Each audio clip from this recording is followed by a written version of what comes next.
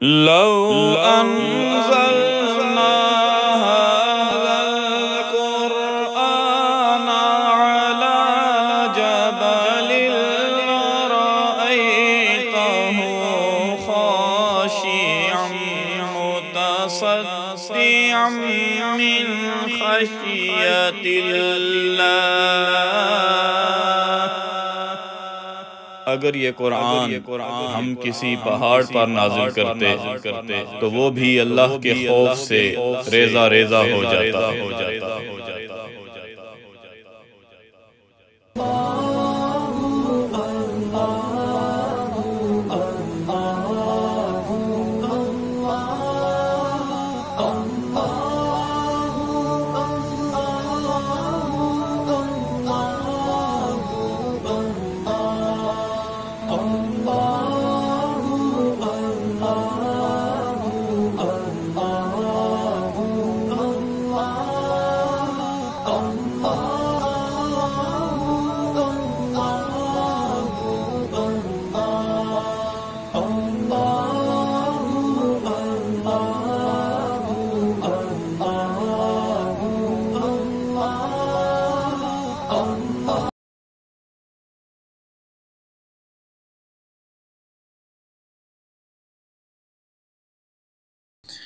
الحمد لله رب العالمين. والصلاة والسلام على سيد الأنبياء والمرسلين. أما بعد فأعوذ بالله من الشيطان الرجيم. بسم الله الرحمن الرحيم. فبما رحمة من الله لنت لهم. ولو كنت فظا غليظ القلب لانفضوا من حولك. فاعف عنهم واستغفر لهم وشاورهم في الأمر. فإذا عزمت فتوكل على الله. إن الله يحب المتوكلين. إن ينصركم الله فلا غالب لكم وإن يخذلكم فمن ذا الذي ينصركم من بعده. وعلى الله فليتوكل المؤمنون. صدق الله مولانا العظيم. هو القادر هو الحق هو المعين. اللہ تبارک و تعالیٰ کا ہم سب پر بے حد و بشمار، احسان کہ اس نے ہمیں نماز فجر با جماعت مسجد میں ادا کرنے کی توفیق عطا فرمائے اللہ تعالیٰ کا احسان، بالائی احسان کہ اس نے ہمیں نماز فجر کے ساتھ درس قرآن کی اس مختصر نشست میں شرکت کی بھی توفیق عطا فرمائے اللہ تعالیٰ ہم سب کو نماز فجر پر استقامت نصیب فرمائے۔ اللہ تعالیٰ ہم سب کو زندگی میں بار بار قرآن کو ترجمہ و تفسیر کے ساتھ پڑھ لینے، سمجھ لینے، اس کے مطابق زندگی بسر کرنے کی توفیق عطا فرمائے۔ نماز فجر، نماز عشاء، اس کا با جماعت ادا ہو جانا، یہ اللہ تبارک و تعالیٰ کا بہت بڑا فضل ہے، بہت بڑا احسان ہے۔ ہم اس قابل نہیں ہیں، جس پر اللہ کا فضل ہوتا ہے، وہی اللہ کے گھر میں آنے میں کامیاب ہوتا ہے۔ نبی کریم صلی اللہ علیہ وآلہ وسلم نے ارشاد فرمایا، وہ شخص جو نماز عشاء باجماعت ادا کرتا ہے، وہ ایسا ہے گویا اس نے آدھی رات اللہ تعالیٰ کی عبادت کی۔ ارشاد فرمایا کہ جو نماز فجر بھی با جماعت ادا کر لیتا ہے، وہ ایسا ہی گویا ساری رات اس کی عبادت کی۔ ہم میں سے کون یہ طاقت رکھتا ہے کہ وہ ساری ساری رات عبادتیں کرے؟ لیکن اگر وہ نماز عشاء، نماز فجر با جماعت پڑھنے میں کامیاب ہو جاتا ہے، تو اللہ تعالیٰ اس کو یہ سعادت نصیب فرماتا ہے کہ رب کی بارگاہ میں وہ ساری رات عبادت کرنے والوں میں لکھا جاتا ہے۔ تو اللہ تعالیٰ ہم سب کو ان نمازوں کی استقامت نصیب فرمائے۔ اور یہ نعمت ہے، یہ نعمت جس جس کو میسر ہے، اس پر اللہ کا شکر ادا کرتے رہے شکر کرتے رہیں گے تو انشاءاللہ یہ نعمت باقی رہے گی۔ سورہ آل عمران کی تفسیر کا سلسلہ جاری تھا۔ آج انشاءاللہ زبدل آیت نمبر ایک سو انسٹھ اور ایک سو ساٹھ کی تفسیر سماعت کریں گے۔ اللہ تبارک و تعالی ارشاد فرماتا ہے، فَبِمَا رَحْمَةٍ مِّنَ اللَّهِ۔ اے محبوب، اللہ تبارک و تعالی کی کتنی بڑی رحمت، کتنی بڑی مہربانی ہے۔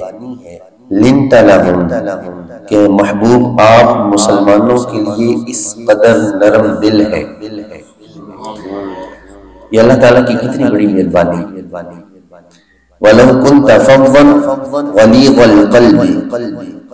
اور اگر آپ سخت مزاج ہوتے، سخت دل ہوتے، لن فضو من حولک تو یہ لوگ آپ کے ارد گرد سے منتشر ہو جاتے، یہ دور ہو جاتے۔ ہیں تو یہ اللہ تبارک و تعالیٰ کی بہت بڑی مہربانی ہے کہ اللہ تبارک و تعالیٰ نے آپ کے دل کو مومنوں کے لیے نرم فرما دیا ہے۔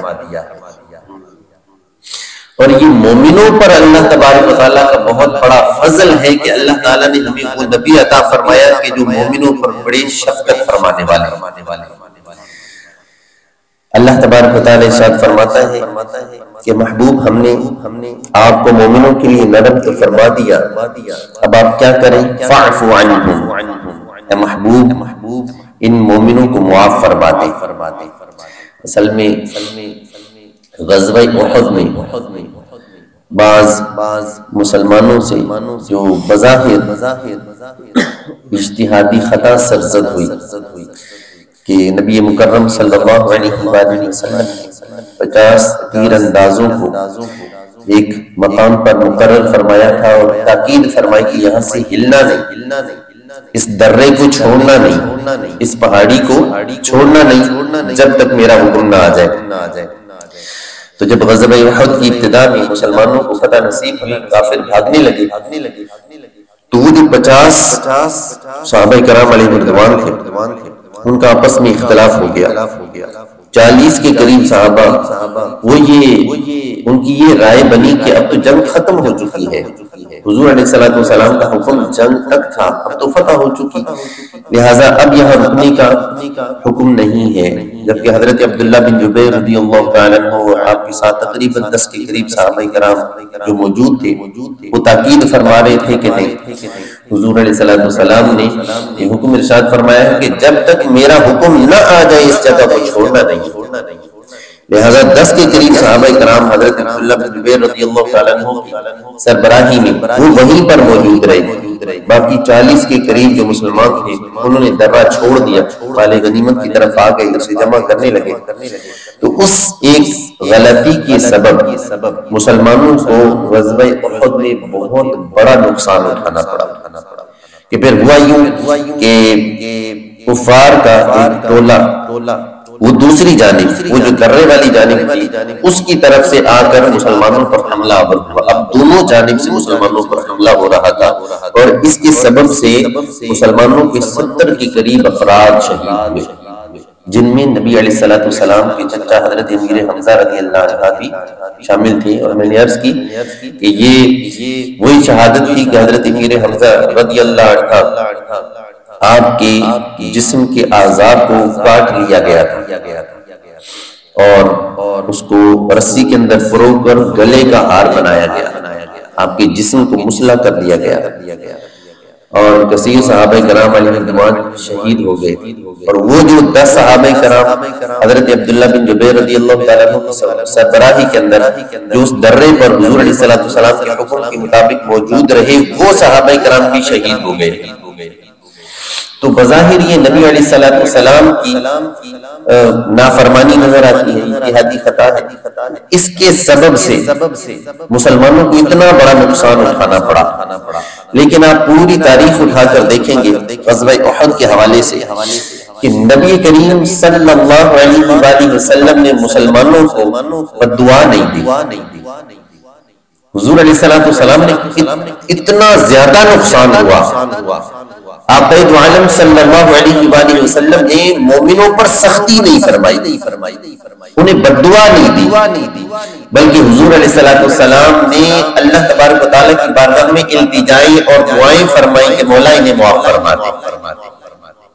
تو اب اللہ تبارک و تعالیٰ اس بات کا اظہار فرما رہا ہے کہ محبوب اللہ تبارک و تعالیٰ کی کتنی مہربانی ہے کہ اللہ تبارک و تعالیٰ نے آپ کے دل کو مومنوں کے لیے نرم فرما دیا ہے۔ اور کیسا نرم فرمایا، پھر اللہ تبارک تعالیٰ حضور علیہ السلام سے ارشاد فرماتا ہے فَعْفُ عَنْهُ اے محبوب، اب آپ بھی ان مومنوں سے درگزر فرما دیجیے۔ ان سے خطا ہو گئی ہے انہیں، معاف فرما دیجیے۔ وَاسْتَغْفِرْ لَهُمْ اور صرف خود ہی معاف نہ کیجیے۔ وَاسْتَغْفِرْ لَهُمْ اب اللہ تبارک و تعالیٰ کی بارگاہ میں ان کے لیے بخشش کے لیے ہاتھ بھی اٹھا دیجیے۔ ان کی بخشش کے لیے ان کی مغفرت کے لیے کہ رب بھی ان سے راضی ہو جائے دعا بھی کر دیجیے۔ تو حضور علیہ السلام نے خود بھی درگزر فرمایا اور مومنوں کے لیے رب کی بارگاہ میں التجائی اور دعائیں بھی کی۔ پھر اس کا فائدہ یہ ہوا کہ اللہ تبارک و تعالیٰ نے کلام مجید سلطان حمید میں ایک سے زائد مرتبہ یہ ارشاد فرمایا وَلَقَدْ عَفَا عَنْهُمْ اللہ تبارک و تعالیٰ نے ان مومنوں کی لغزش کو معاف فرما دیا۔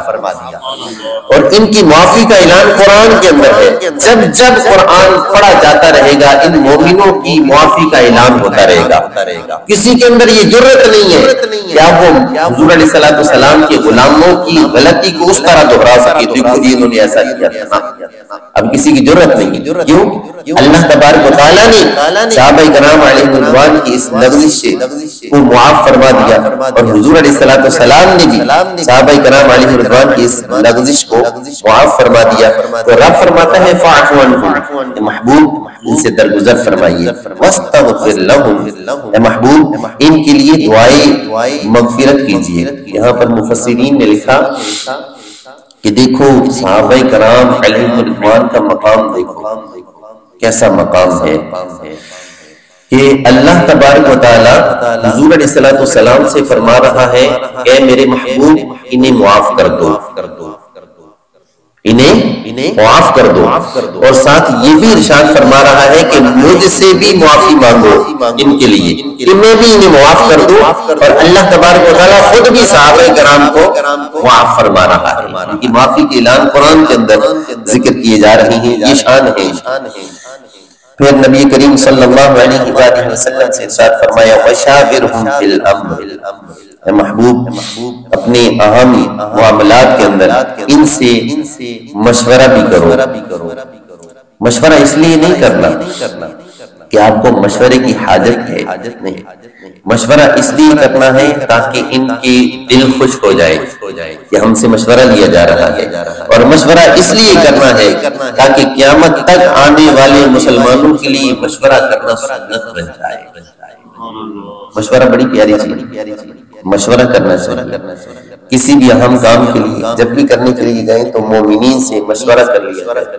اہل علم سے مشورہ کر لیا جائے۔ جو اس کام کے ماہرین ہیں، ان سے مشورہ کر لیا جائے کہ مشورہ کرنا کیا ہے۔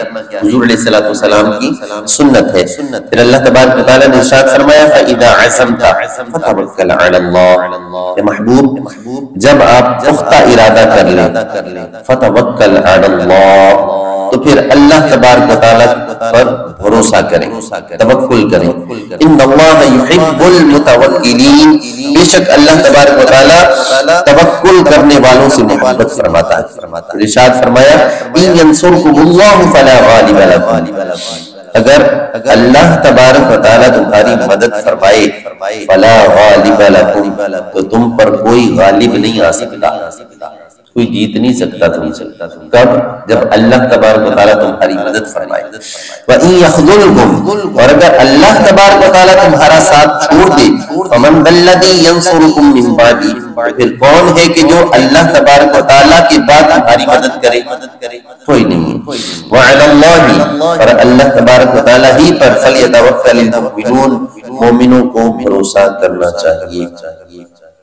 کلام مجید، فرقان حمید میں ایک اور مقام پر رب فرماتا ہے، وَإِن يَمْسَسْكَ اللَّهُ بِالدُّرِّ فَلَا كَاشِفَ لَهُ إِلَّا هُوَ. اور اگر اللہ تبارک و تعالیٰ تمہیں کوئی تکلیف پہنچانا چاہے، تو اس تکلیف کو دور کرنے والا سوائے رب کے اور کوئی نہیں ہے۔ پوری دنیا اکٹھی ہو جائے اور پوری دنیا چاہے کہ تمہیں وہ تکلیف نہ پہنچے۔ لیکن اگر رب نے چاہا ہے کہ وہ تکلیف تم تک پہنچے تو کوئی اسے روکنے والا نہیں ہے۔ پھر شاید فرمایا، وَإِن يُرِدْ خَيْرٍ فَلَا رَابَّ اور اگر اللہ تبارک و تعالیٰ تمہارے ساتھ کوئی بھلائی کا ارادہ فرما دے تو پوری کائنات جمع ہو جائے کہ وہ نعمت تم سے روک لی جائے۔ اگر اللہ نے ارادہ فرما لیا ہے تو وہ نعمت، وہ بھلائی تم تک پہنچ کر رہے گی۔ تو بندہ مومن کا عقیدہ، نظریہ ایسا ہونا چاہیے کہ اگر اللہ تبارک و تعالیٰ نے کسی بھلائی کا ارادہ فرما لیا ہے، میرے ساتھ اچھا ہونا ہے، بھلا ہونا ہے، تو پھر اسے کوئی روکنے والا نہیں ہے۔ یہاں حضور علیہ السلام کی اخلاقی حسنہ کی ایک بڑی پیاری پیاری چیز نرمی نرمی اس کا ذکر کیا گیا۔ بعض لوگ انتہائی سخت ہوتے ہیں اور وہ اپنی سختی کو یوں جسٹیفائی کرتے ہیں۔ وہ کہتے ہیں کہ اصل میں ہم سے جھوٹ نہیں بولا جاتا، ہم سچے بڑے ہیں۔ اس وجہ سے ہم سخت ہیں۔ اور اس قدر وہ سچے ہوتے ہیں، بقول ان کے کہ کوئی بندہ ان سے بات کر کے راضی نہیں۔ سوسائٹی کے اندر ان کی کوئی ویلیو نہیں ہوتی۔ فیملی کے اندر، خاندان کے اندر ان کی کوئی ویلیو نہیں ہوتی۔ کوئی رشتہ دار ان سے راضی نہیں۔ مسلمان ان سے بیٹھ کر بات کرنے کے لیے راضی نہیں۔ ان کا مزاج ایسا بن چکا ہوتا ہے۔ اور وہ اپنے آپ کو کیا سمجھ رہے ہوتے ہیں کہ ہم سچے ہیں؟ اس وجہ سے کڑوے ہیں۔ میں کہتا ہوں کہ کائنات کے اندر سب سے بڑی سچائی والی اگر کوئی بارگاہ ہے، تو اللہ تبارک و تعالیٰ نے حضور علیہ السلام کی بارگاہ کو بنایا۔ حضور علیہ السلام سے سچا کون ہے؟ حضور علیہ السلام سے سچا بھی کوئی نہیں اور حضور علیہ السلام سے میٹھا بھی کوئی نہیں۔ حضور علیہ السلام کی گفتگو کیسی؟ اٹھاس والی گفتگو۔ ایک ایک صحابی حضرت زید بن صنعا یا ایک اور امام ان کا ذکر کیا گیا۔ ابتدائی نام ان کا زید۔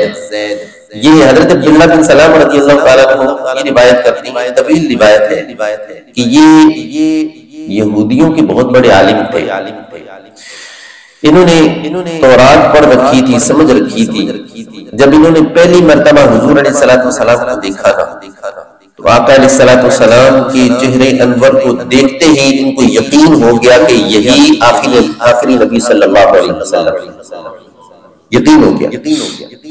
لیکن ایک اور صفت جو حضور علیہ السلام کی انہوں نے پڑھ رکھی تھی، وہ یہ تھی کہ آقا عالم صلی اللہ علیہ وآلہ وسلم کا حلم برد باری۔ تحمل مزاجی یہ حضور علیہ السلام کی غصے پر حاوی ہے۔ ہماری تو کیفیت ہی ہوتی ہے، غصہ آتے تو ہم کہتے ہیں غصہ آ گیا تھا اصل میں گالی نکل گئی۔ غصہ آ گیا تھا تو میں نے یہ کر دیا۔ غصہ آ گیا تھا میں نے تھپڑ مار دیا۔ یعنی غصہ کنٹرول میں ہی نہیں ہے۔ ہم غصے کی کنٹرول میں ہماری کیفیت ہی ہوتی ہے۔ ہماری کیفیت یہ ہوتی ہے، مسجد میں غصہ آ جائے تو ہم مسجد میں گالیاں دینے شروع کر اور اس کو کیا کہتے تھے؟ غصہ آ گیا تھا۔ ہم گھر میں غصہ آ جائے تو گھر میں گالیاں، مہمانوں کے سامنے غصہ آ جائے تو وہاں گالیاں کیا جی غصہ آ گیا؟ یعنی ہم غصے کے کنٹرول میں ہیں۔ غصہ ہمارے کنٹرول میں نہیں۔ نبی کریم صلی اللہ علیہ وسلم کی یہ صفت آپ نے پڑھ رکھی تھی حضرت زید رضی اللہ تعالیٰ نے۔ کہ آقا عالم صلی اللہ علیہ وآلہ وسلم کا جو غصہ ہے، وہ نیچے رہ جاتا ہے اور حلم حضور علیہ السلام کا بڑھ جاتا ہے۔ یعنی جس قدر حضور علیہ السلام کی بارگاہ میں جا کر کوئی نازیبہ گفتگو کرے تو آپ دو عالم صلی اللہ علیہ وسلم کا ان کے غصے پر حاوی ہو جاتا ہے۔ ایک مقام ایسا آیا ابھی آپ مسلمان نہیں ہوئے تھے۔ آپ کو مسلمان ہونے کا واقعہ تفصیلی ذکر کیا گیا کہ آپ نے نبی کریم صلی اللہ علیہ وآلہ وسلم کو بطور قرض کے سونا دیا۔ سونا اور یہ بات طے ہوئی دن بھی مقرر ہو گیا۔ یہ بات طے ہوئی کہ حضور علیہ السلام سونے کے بدلے میں کھجورے دیں گے۔ تو جب جب وہ قرض لوٹانے کی باری آئی کھجورے دینے کی باری آئی، ابھی کچھ دن باقی تھے کہ وہ حضرت زید رضی اللہ تعالیٰ وہ حضور علیہ السلام والسلام کی بارگاہ میں آئے اور یہی چیز چیک کرنے کے لیے آئے حضور علیہ السلام کا خلاف کیسا ہے۔ مسجد شریف میں آئے صحابہ کرام موجود ہیں حضور علیہ السلام کی بارگاہ میں آ کر سختی کے ساتھ، سخت مزاجی کے ساتھ حضور علیہ السلام سے کلام کرنا شروع کر دیا۔ حضرت فاروق اعظم رضی اللہ تعالیٰ کو بھی بیٹھے۔ تو یہ خود بیان کرتے ہیں کہ میری نظر پڑی حضرت فاروق اعظم رضی اللہ تعالیٰ عنہ کے چہرے پر۔ فاروق اعظم رضی اللہ تعالیٰ عنہ کی آنکھوں کے جلال نے مجھے بتا دیا کہ بڑا سخت جلال آیا ہوا۔ اور کوئی بولا نہیں. فاروق اعظم رضی اللہ تعالیٰ عنہ نے سختی کے ساتھ مجھ سے بات کی اور فرمایا کہ اگر مجھے حضور علیہ السلام کی مجلس کا حیا نہ ہوتا تو میں ابھی تیری گردن جدا کر دیتا. کہ تو حضور علیہ السلام سے اس طرح بات کر رہا ہے. تو نبی کریم صلی اللہ علیہ وآلہ وسلم تو دلوں کی کیفیت سے بھی واقف ہے. آقا عالم صلی اللہ علیہ وسلم نے فاروق اعظم رضی اللہ تعالیٰ عنہ خاموش کروا دیا. آقا عالم صلی اللہ علیہ وسلم نے فاروق اعظم رضی اللہ تعالیٰ عنہ سے فرمایا کہ جائے۔ اور اس یہودی کا اس وقت یہودی نے اس یہودی کا قرض ادا کر دیں۔ قرض بھی ادا کر دیں اور اس کے ساتھ ساتھ اتنی کھجوریں زائد بھی ادا کر دیں۔ وہ گئے وہ گئے۔ فاروق اعظم رضی اللہ تعالیٰ اور قرض کی کھجوریں بھی ادا کر دی۔ اور جو زائد چیزیں زائد کچھ کھجوریں بھی دیں۔ تو وہ حضرت زید رضی اللہ تعالیٰ وہ پوچھنے لگے کہ یہ زائد کھجوریں کس وجہ سے؟ فاروق اعظم رضی اللہ تعالیٰ نے ارشاد فرمایا کہ اصل میں مجھ سے سخت کلامی ہوئی تھی۔ میں نے سخت باتیں کر دی تھی تو حضور علیہ الصلوۃ والسلام نے ارشاد فرمایا ان سخت باتوں کی وجہ سے جو دل کو ٹھیس پہنچی ہے نا کچھ زائد کھجوریں دے دینا دل میں محبت پیدا ہو جائے۔ تو حضرت زید رضی اللہ تعالیٰ عنہ جب آپ نے یہ بات سنی نا تو وہ عرض کرنے لگے اصل میں میں بہت بڑا یہودیوں کا عالم ہوں۔ تورات کا بہت بڑا عالم ہوں۔ میں نے حضور علیہ الصلوۃ والسلام کی ساری صفتیں چیک کر لی ہیں۔ حضور علیہ السلام کا چہرہ دیکھ کر میں پہچان گیا تھا کہ یہ سچے نبی نبی، آخری نبی ہیں۔ بس ایک ہی صفت باقی رہ گئی تھی۔ وہ حضور علیہ السلام السلام علم اور برد باری کی صفت تھی۔ آج میں نے وہ صفت بھی حضور علیہ السلام کی دیکھ لی اب مجھے حضور علیہ السلام کی بارگاہ میں لے جائیں۔ میں کلمہ پڑھ کر مسلمان ہونا چاہتا ہوں۔ حضرت زید رضی اللہ تعالیٰ عنہ، فاروق اعظم رضی اللہ تعالیٰ عنہ کے ساتھ حضور علیہ السلام کی بارگاہ میں آتی ہے کلمہ پڑھتے ہیں اور مسلمان ہو جاتے ہیں۔ اگر آپ چاہتے ہیں کہ مسلمان آپ سے محبت کریں، تو مسلمانوں کے لیے نرم ہو جائے۔ مومنین کے لیے نرم ہو جائے، اپنوں کے لیے نرم ہو جائے۔ ہماری مائیں بہنیں، بوڑھے، نوجوان، جو بھی یہ جہاں تک میری بات پہنچ رہی ہے، یہ یاد رکھیں ہمیشہ، ہم انسانوں میں رہتے ہیں۔ فرشتوں میں نہیں رہتے۔ ہمارے تعلقات انسانوں سے ہیں۔ فرشتوں سے نہیں ہے اور انسان سے غلطی سرزد سرزد ہو جاتی۔ معاف کرنا سیکھیں۔ معاف کریں گے۔ ہم ہم سے بھی درگزر کیا جائے گا۔ ہمیں بھی معاف کر دیا جائے گا۔ اللہ تبارک و تعالیٰ ہم سب کو نرم دل عطا فرمائے۔ محبتیں دینے والا محبتیں بانٹنے والا بنائے۔ آمین۔ بجاہ النبی الامین صلی اللہ تعالی علی محمد صلی اللہ علیہ وسلم۔